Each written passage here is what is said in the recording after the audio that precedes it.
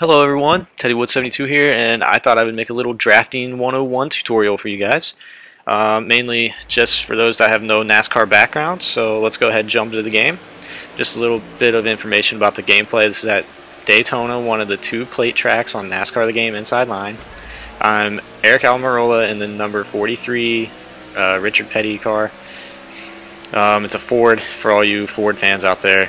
Um, basically, and what, what we're going to do is I'm just gonna you're gonna watch the screen and listen to me talk about how to draft. Um, so basically, what drafting is is it's when you use another car to go faster than yourself, and you really need to utilize that when you're at Daytona or Talladega because you basically won't go anywhere unless you have another car. Now, right here, I get a huge run off these cars, so I'm going to pass all of them. And then I'm going to jump back up in line and follow behind this car. Now, you see the two little white tails? That means I'm in the draft. Then I'm going to jump down below him to try to catch up to Danica, but she left me out to dry, so I'm going to still keep going past her. And then after I get past her, you're going to see her drop in behind me, and I drop, and I come up to the top, and then she looks low, so I kind of block a little bit, and then I come back up to the top to get in line. Now, when you want to draft correctly, and you want to bump draft. There's two kinds of drafting. There's just drafting where you're running in line, and then there's bump drafting. Bump drafting is where you actually use your bumper to push the person ahead of you. Now, to bump draft correctly, you want to just give them little taps or get latched onto their back bumper, so to speak, where you just kind of you ease up on their back bumper, and then you can just push them around the track.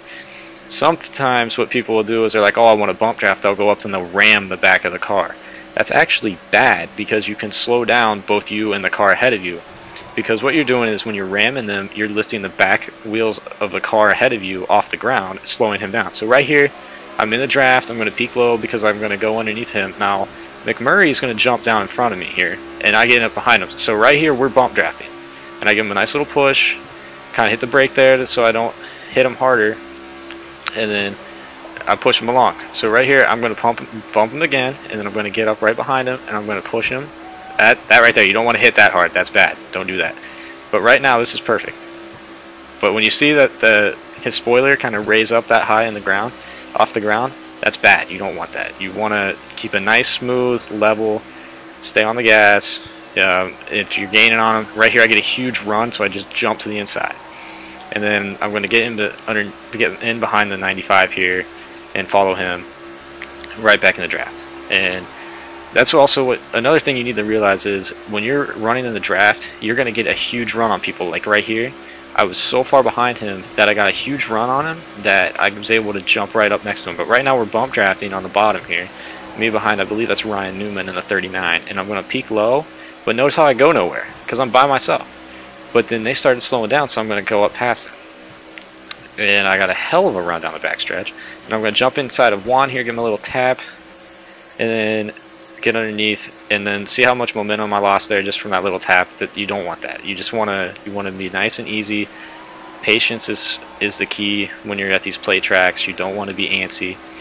And then, so right here, I'm going to jump underneath of Kurt Busch, and then I'm going to go in behind Clint Bowyer, peek low, get right back up behind him, because watch, we're going to go really we get a lot faster here once I get up on his bumper right here. Now watch the two cars on the top. We go right underneath of them, and then I'm going to peek to keep up, keep my engine cool because if you're if you have the settings um, in the game to where you get damage on everything and like you can have failures, your engine will actually overheat from bump drafting for too long. So you gotta like let peek out and let your engine get some air to it, and you uh, you can tell that by the thing on the right, right there where the little bottom of the wheels. If you keep tapping Y, it'll switch over to engine. And the engine will be green if it's okay, but it'll start turning red the hotter it gets. And so right here, I came off the corner, hit him a little too hard, and had to jump to the inside. Eh, didn't really work out, but he doesn't have anybody behind him like I do, so I'm able to pass him. And now these cars on the outside are going to fly past me because they're look at how much closer they are. The closer you are to another car, the faster you go when you're in the draft. And one other thing is you don't want to like leave somebody hanging. If you've been pushing them, don't leave them hanging. I'm going to do it later on in the race to kind of like as an example. But right here, I get up under, I get behind Bobby Labonte. I'm going to push him, push him, keep pushing him. And I'm hoping that with me being below him, he's going to jump down and we can go past the car ahead of him. But he didn't want to do that. So we go we get underneath the Truex here and we're gonna keep going and then I'm just gonna stay behind him and follow him but and he's gonna peek below here and he doesn't really do anything and right there I have to let off the gas because you can't go below the yellow line on the plate tracks or it's a penalty and some stuff like that. Silly NASCAR rules. So but then I get a nice run on him and I'm right back up to his bumper. So we're we're we're in the nice draft. We're in a nice little two-car tandem here. I'm gonna push him along push him along tapping the brake when I need to and right there I hit him a little too hard and made his bumper but look at how fast we're going right now just because I'm, I'm on his bumper we are flying right now so after we get past those two, I'm going to stay latched to him. I'm not going to pass him. Why? Because if I pass him, we are going to start slowing down. If I stay behind him, we will speed up and catch the two cars ahead of us. So I'm going to stay behind him until we catch the two cars ahead of him. What I see a lot of people do in these YouTube videos I've seen is they'll they'll get a huge run on somebody and they'll jump out past them and then they don't ever catch the car ahead of them. The way the game plays for me is if as long as I'm behind a car, we're really fast. But if I'm out ahead of a car, we're really slow. But see right here, I jumped out, I jumped in below, left him out to dry, and now watch him just drop back in the in the mirror as me and Kenseth are hooked up here. See right here? And then I'm going to jump inside. This is what you don't want to do. You do not want to jump inside of somebody right here because even though I'm close enough to the cars ahead of me, we could have stayed tandem or stuck together and we would have caught these guys a lot faster than me just trying to gain on my own. But right now, you see two cars up top. I'm going to jump down low with Earnhardt Jr., I believe. And notice how we're not going anywhere. And the other two are stuck together. I'm going to jump up, get in with those two, follow them, and then Casey's going to jump to the inside, and I'm going to go with him. I give him a nice little push, so we get a nice little run going here.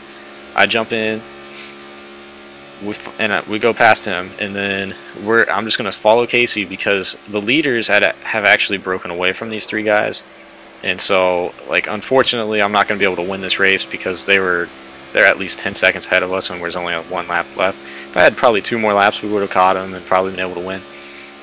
But since I can't win, I'm just going to go ahead and follow him, breathe air into the grill to cool down the engine if you have those settings. Just peek out a little bit, jump right back in behind him.